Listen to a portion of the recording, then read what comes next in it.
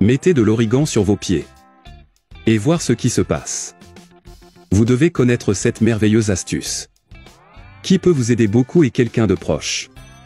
Cette recette maison sera très intéressante pour vous. Que peu de gens connaissent. Une fois que vous avez découvert à quoi ça sert ce truc si étrange et inhabituel. Tu voudras dire à toute ta famille. Pour commencer. Nous aurons besoin d'utiliser une casserole. Alors. Il suffit d'ajouter 5 cuillères à soupe d'origan.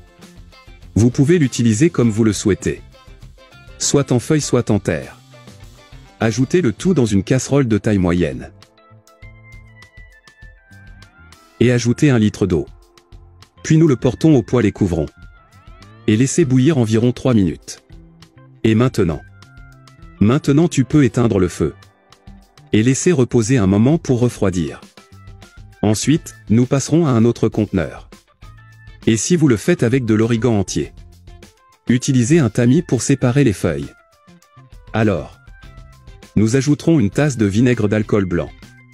Le vinaigre est un excellent allié pour éliminer et prévenir la présence de mycoses des pieds.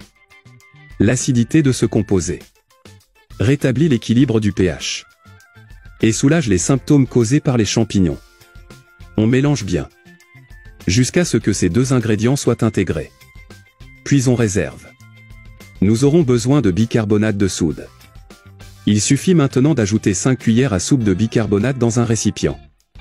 Le bicarbonate de soude est excellent pour traiter les champignons des pieds et des mains. Très utile pour restaurer la peau des pieds. Je vais maintenant vous expliquer comment utiliser. Dans un grand récipient comme celui-ci. On met les pieds.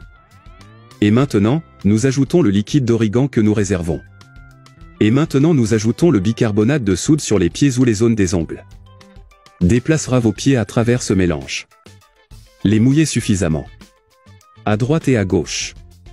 Laissez ensuite reposer 5 à 10 minutes environ. Après ce temps, on laisse les pieds dehors 10 minutes.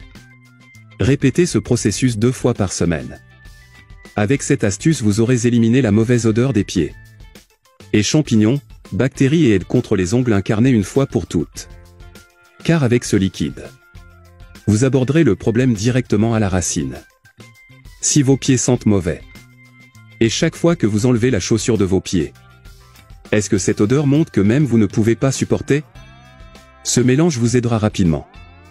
Cette astuce peut vous être utile. Ou pour ceux que tu aimes. Je reste ici. Un gros bisou. Reste avec Dieu.